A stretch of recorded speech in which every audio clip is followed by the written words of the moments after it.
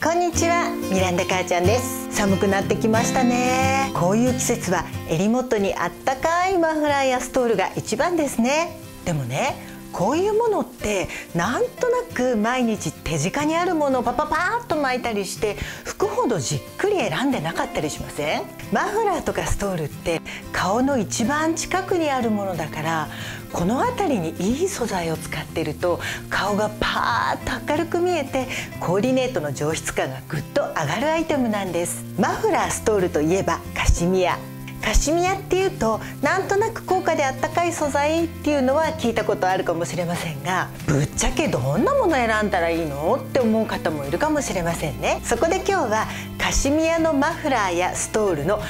徹底比較をしてみたいと思います。今回は分かりやすく3種類に分けて解説してみます。1つが厚手カシミヤ。2つ目が薄手カシミヤ。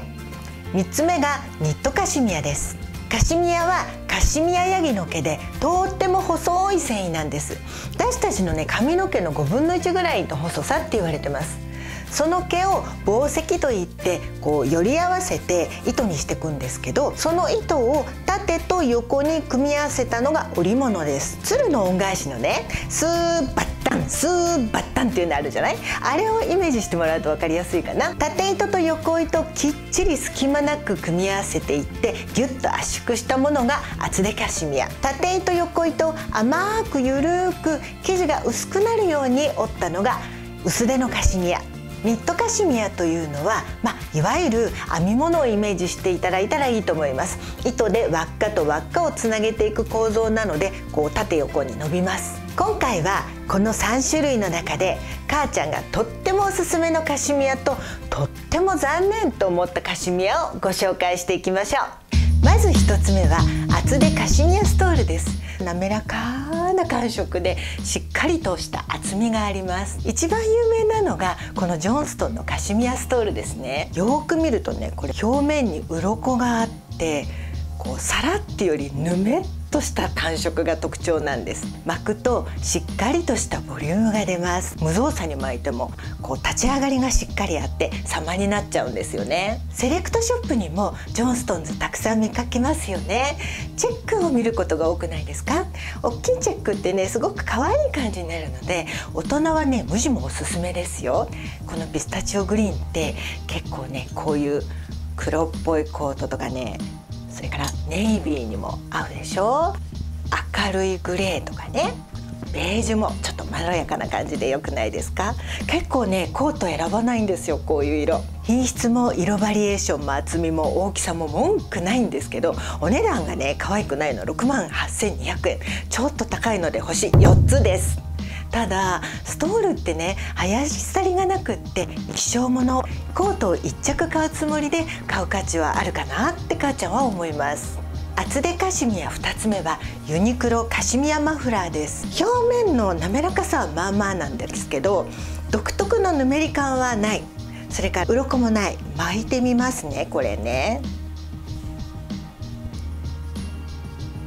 なんかねちょっとねご飯に乗っかったとろろ昆布みたいじゃない？これ。あのね厚みがね足りないのでちっちゃい。どう巻いてもね貧弱。あのここがね貧弱だと何が起きるかっていうとね体がね相対的に大きく見えちゃうんですよ。これめちゃめちゃ損ですね。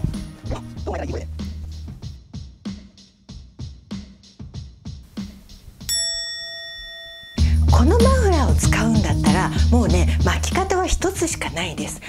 トの襟元に沿わせちゃいましょう。こうやってふわっと首にかけて上からコートを羽織る。これだと貧弱さが目立ちませんよね。あのイギリスのジェントルマンみたいな感じ。英国紳士の方ってなんでこういう着こなしするかっていうと大事なコートのこの襟元が汚れないようにマフラーでカバーしてあげるんですよ。かなりこのユニクロのカシミヤマフラーって使い方は限定されちゃうので星1つです。ンストンズのカシミヤ最高だけど値段が高い。ユニクロはお手頃価格だけどペラペラ。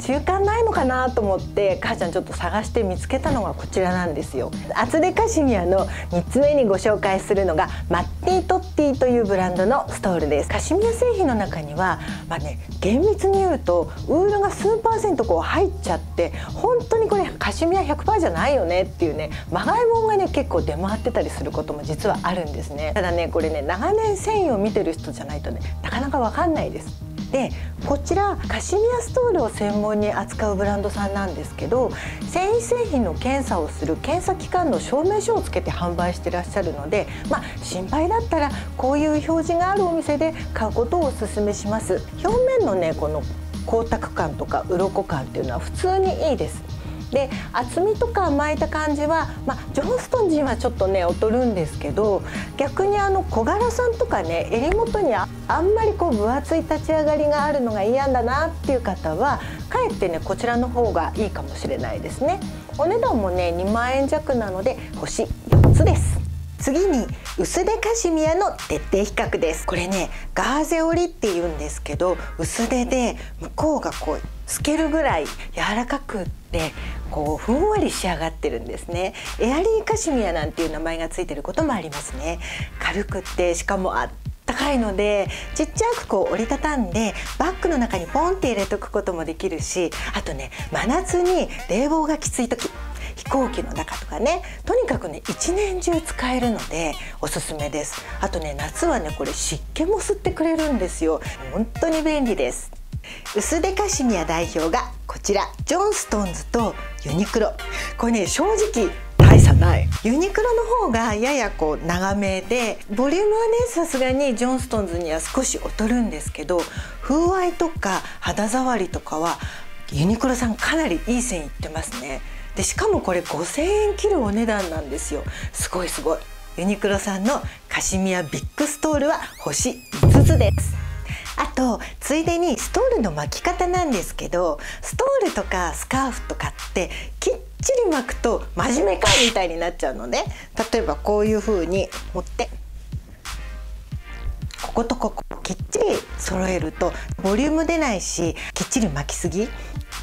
寒かったから無造作に引っ掛けてみましたみたいな感じが出た方がいいんですね。コツはですねこのストールの体角。こっちの角とそれから反対側の角をこうやって斜めに持つんです。こうやって斜めに持ってからふわって巻くとボリュームが出るしこのね先端がねバシッとね揃ってないこうイレギュラーな感じでスーッと細くなって終わる感じの巻き方になるのでこれでねちょっとね無造作感が出ちゃうんですよ。左右の長さも変えてあげましょうね。最後にニットマフラーのおすすめも見つけたのでご紹介します。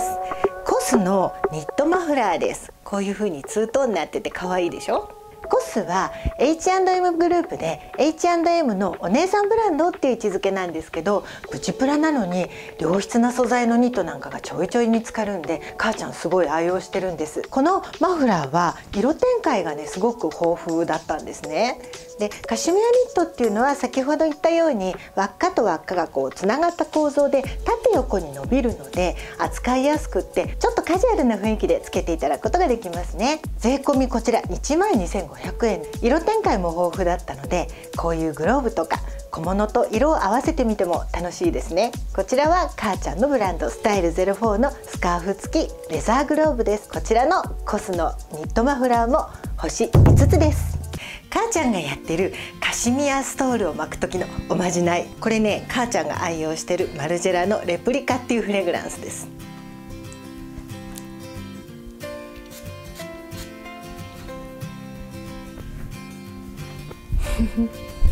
ふわーってねこうね香りをまとわせるんですよ。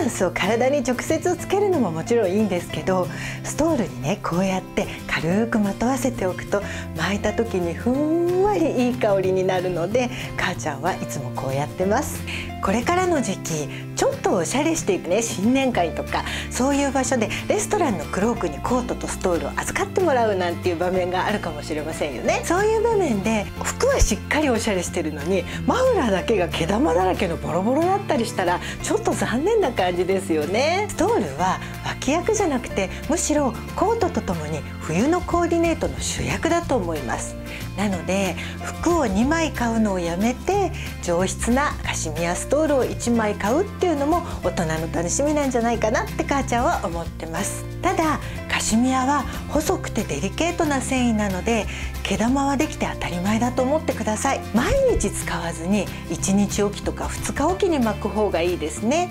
ちょいちょいにお休みさせてあげながら時々ブラッシングしてあげると長持ちします。今日のカシミヤストールマフラー徹底比較いかがでしたか？もしこのチャンネルがお気に召していただきましたらいいねボタンとチャンネル登録をよろしくお願いします。それじゃあまたね。